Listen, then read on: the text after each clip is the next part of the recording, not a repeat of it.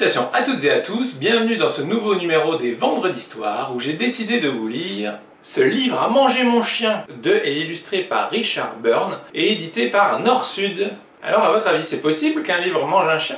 Il n'y a qu'un seul moyen de le savoir, c'est d'écouter l'histoire. On va se promener Bella se promène avec son chien sur la page quand soudain, quelque chose de très étrange se produit. Le chien de Bella disparaît. Salut Bella, quoi de neuf? Lui demande Ben. Ce livre a mangé mon chien Ben décide de mener l'enquête. Mais Ben disparaît aussi. Voilà les secours qui arrivent Société protectrice des chiens. Mais eux aussi disparaissent. Société protect des ch... La situation devient ridicule. Et Bella en a assez. Pompiers, police, mais... Quelques instants plus tard, une lettre apparaît. Il est écrit Cher lecteur, aurais-tu la gentillesse de nous aider? Tourne ce livre de ce côté et secoue-le. Merci, Bella. 1. Tourne le livre. 2. Secoue.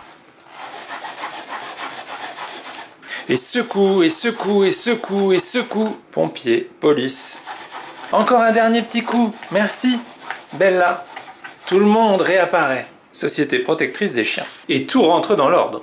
Uxert Nifnet. Enfin presque. Cher lecteur, veux-tu demander à ce livre de promettre de ne plus être aussi vilain la prochaine fois que tu le liras? Merci, Bella.